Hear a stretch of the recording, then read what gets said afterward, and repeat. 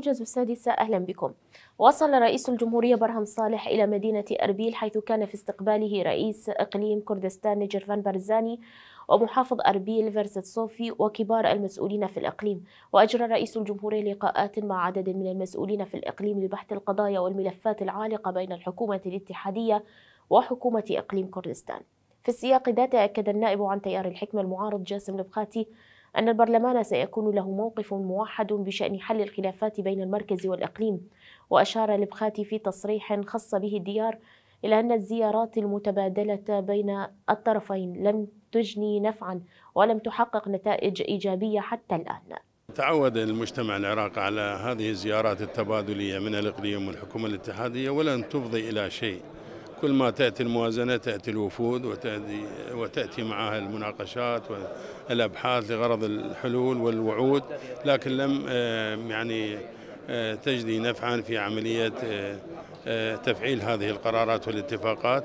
لذلك راح يكون لمجلس النواب وقفة جدية بعملية أمل الاستجابة الحقيقية ووضوح الرؤية من قبل الأخوة في حكومة إقليم كردستان.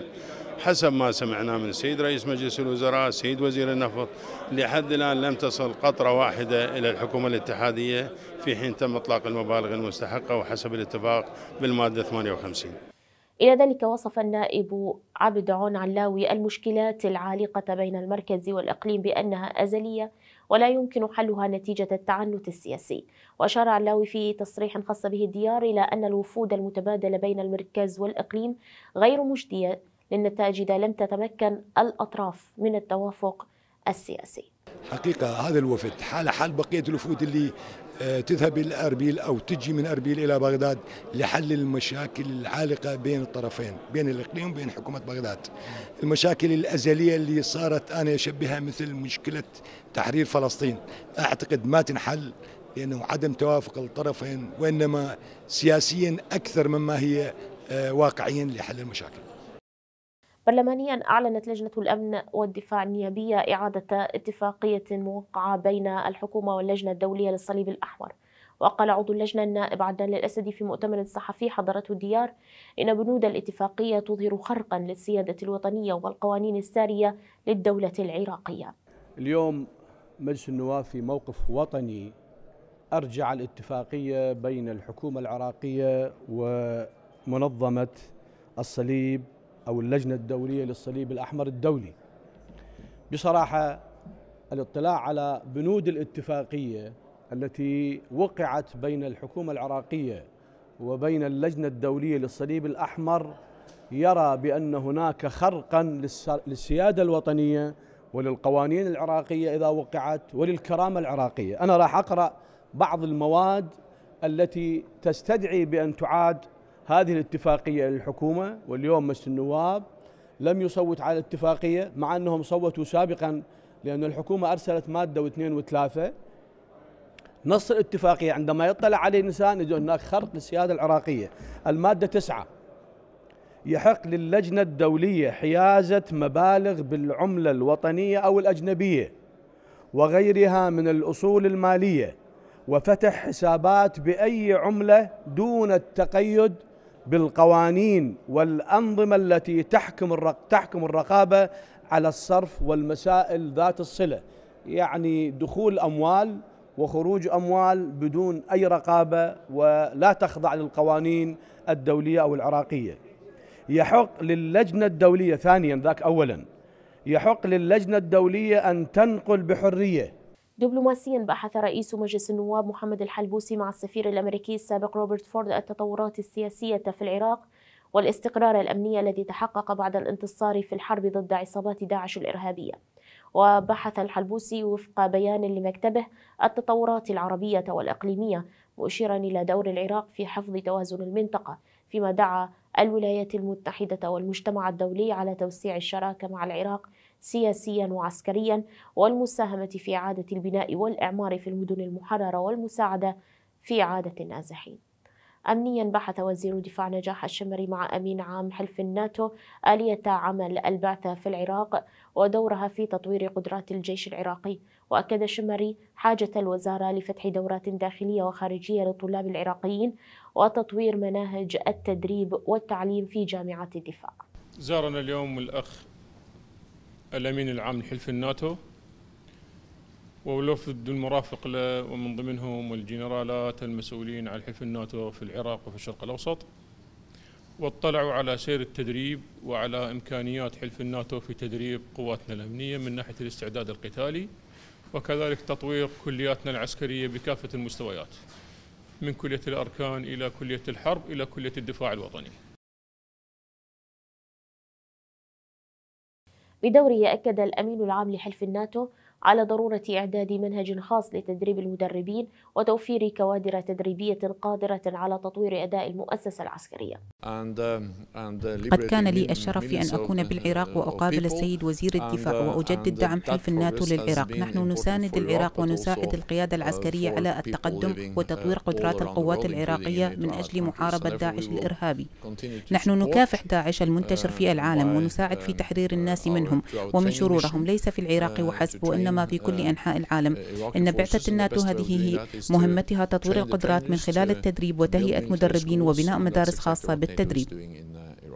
وفي الميدان أعلنت خلية الإعلام الأمني أن القوات الأمنية وبالإسناد الجوي تواصل عملياتها خلال المرحلة الخامسة من عملية إرادة النصر.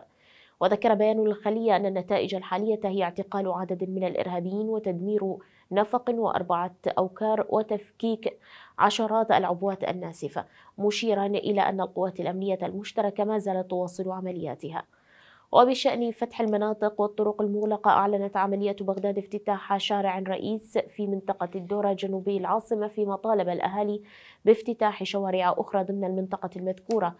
وأشار قائد العمليات الفريق الركن جليل الربيعي إلى أن القيادة تواصل تنسيقها مع أمانة العاصمة بهدف افتتاح جميع الشوارع المغلقة تدريجيا. المناطق المهمة في بغداد وشارع المصافي حقيقة من الشوارع المزدحمة دائما بدوائر حكومية بالمحكمة بجامعات وحقيقة يمكن أكثر الشوارع المزدحمة في بغداد.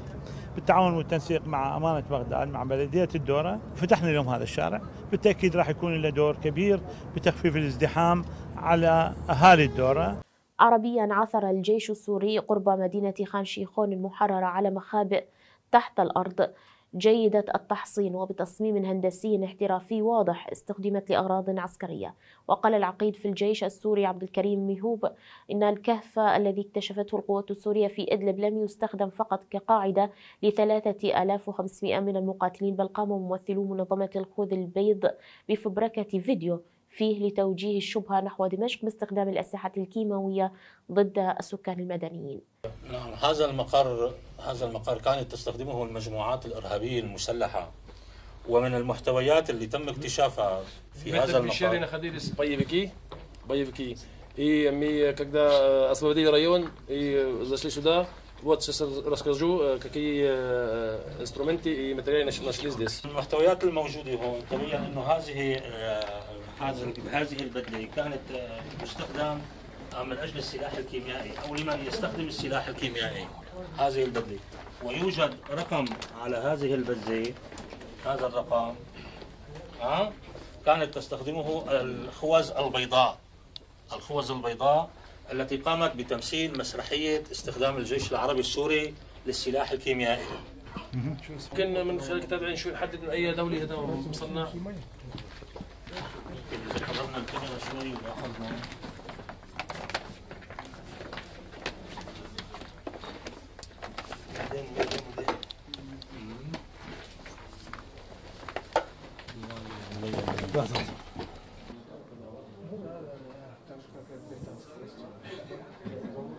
طبعا هذه البزة آه، بالإضافة إلى خوذ كانت تستخدمها المجموعات الإرهابية المسلحة هذه القوى كانت تستخدمها المجموعات دخل إضراب المعلمين في الأردن أسبوعه الثاني ليتواصل معه توقف المدارس الحكومية عن العمل بشكل كامل. يأتي هذا مع استمرار الحوار بين نقابة المعلمين والحكومة الأردنية وسط غياب الأمل بحل قريب للأزمة. شيطنة المعلمين ليست في مصلحة أحد. إذا بتحكوا عن الوطن وبتحكوا عن التعليم وبتحكوا عن المجتمع إذا المعلمين تشيطنوا يعني كبتهم يكون وضعهم ومكانتهم بالمجتمع. هذا التأثير مش التأثير على الطلبة أنه انقطعوا عن الدراسة أسبوع أو أسبوعين. التأثير البالغ يا سيدتي هو أن يحبط المعلمون إلى الدرجة التي يكونون فيها غير قادرين على القيام بأي مهمة تعليمية مستقبلا. ولذلك هلأ المعلمين محبطين وبيطالبوا بمستوى معيشي كويس. تصدر المرشحان قيس سعيد ونبيل القروي نتائج الدور الأول من الانتخابات الرئاسية في تونس. إذ حصل الأول على أكثر من 18% من أصوات الناخبين مقابل أكثر من 15% للثاني وفق ما أعلنته هيئة الانتخابات. وبهذه النتيجة تأهل كلاهما إلى الجولة الثانية من الانتخابات الرئاسية المبكرة المزمع عقدها قبل حلول الثالث عشر من أكتوبر المقبل. نعلم اليوم وأن هناك دور ثاني للانتخابات الرئاسية. سيتم تحديد موعدها بعد صيرورة هذه النتائج نتائج أولية نهائية. وتكون الدورة الثانية ما بين كل من قيس بن المنصف بن محمد سعيد ونبيل بن رشيد القروي. شكرا لكم. أخيرا رجح الرئيس الأمريكي دونالد ترامب ضلوع إيران بهجوم أرامكو وأكد ترامب خلال لقائه ولي عهد البحرين سلمان بن حمد الخليفة بالبيت الأبيض أن واشنطن لا تسعى لحرب مع أي طرف رغم أنها مستعدة لذلك. الولايات المتحدة مستعدة بشكل أفضل من أي بلد آخر عبر التاريخ إن كان علينا المضي بالخيار العسكري. علينا أن ننتظر ونرى بشكل قاطع من قام بالهجمات ومن ثم التحدث مع السعودية لأن عليهم لعب دور كبير في أي خطوة مقبلة والجميع يعلم أنهم مستعدون لذلك. ختام الموجز. أحبتي نذكركم بمتابعة أخبارنا على الفيسبوك إنستغرام وتويتر. إلى اللقاء.